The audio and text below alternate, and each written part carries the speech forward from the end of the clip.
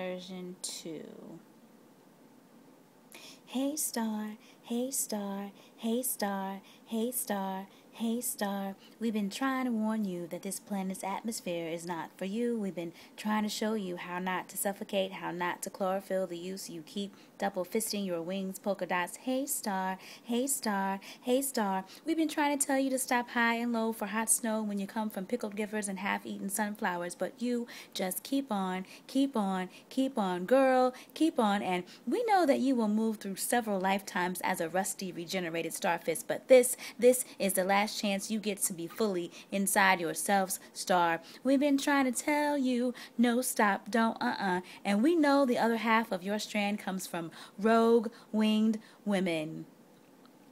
Let's face it, who wants a fallen angel when she scrapes her ass? Does anyone heal an angel's ass? Who gives a fuck about an angel ass? Star phobia. We are afraid you will light yourself up like an old Pall Mall on a black man's flannel in the Midwest. Please, star. Please, please, please, pretty please collect your flaming parts and grow an 18 year old tortoise shell or a lucky foot or a bad neighborhood in heaven. But whatever you do, baby, don't continue this path. Twinkling is such a waste of time when no one sees you you and you are too old to twinkle for yourself, perhaps it's time you shoot. We promise, we promise, we pinky promise someone will notice you then. We promise, we promise your bright will brill and bedazz any blind thing in sight.